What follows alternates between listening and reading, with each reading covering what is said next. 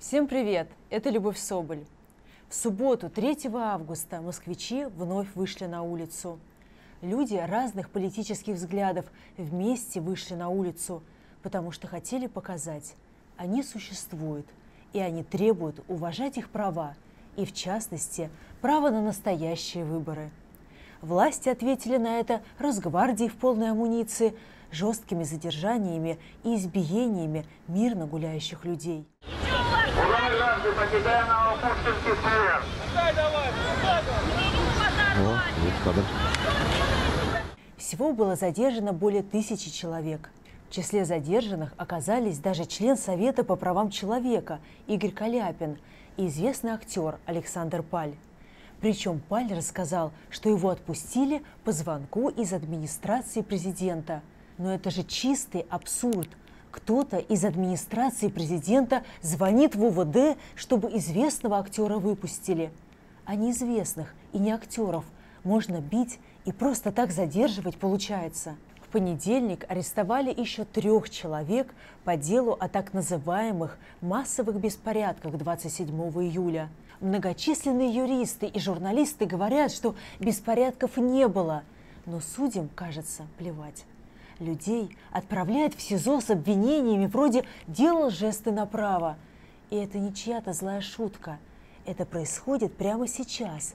21-летнего студента Высшей школы экономики Егора Жукова посадили в СИЗО, а в деле у него видеозапись, согласно которой лица делают жесты направо. А ведь есть еще дело о воспрепятствовании работе избиркомов и дело против сотрудников Фонда борьбы с коррупцией об отмывании миллиарда. Кажется, что это чистое безумие или сюжет какой-то антиутопии. Но это происходит прямо сейчас, в Москве которая, как нам рассказывали, так похорошела при Сергее Семеновиче Собянине. Катализатором протестов стали выборы в Московскую городскую думу. Я в них участвовала, и для регистрации на них мой штаб месяц с утра до вечера собирал подписи, и мы их собрали. А меня, как и других независимых кандидатов, демонстративно не зарегистрировали – вот единоросса Метельского, про которого даже журналистка Екатерина Винокурова с Russia Today говорит, что не видела его сбора подписей, зарегистрировали.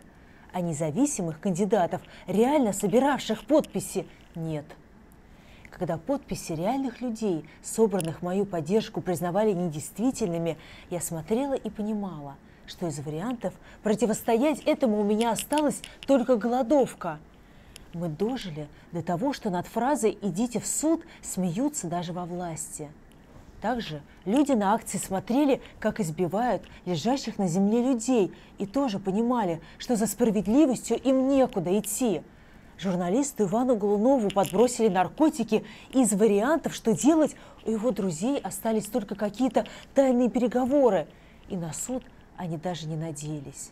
Мы должны выступить против этого безумия – Общество должно сказать власти, что так просто нельзя. Они говорят через федеральные каналы, что это все против каких-то провокаторов. Но на самом деле они бьют свой народ. Люди, которые вышли 27 июля и выйдут еще, это москвичи, россияне, народ. Они идут, где-то боятся, но идут на улицу, потому что не хотят мириться с беззаконием и бесправием. Я призываю прийти на митинг на Сахарова в эту субботу всех. И тех, кто поддерживает нас, независимых кандидатов на выборах в Московскую городскую думу, и тех, кто не поддерживает. И тех, кто за Навального, и тех, кто считает, что он все делает не так. Тех, кто за либералов, и тех, кто за коммунистов. Всех.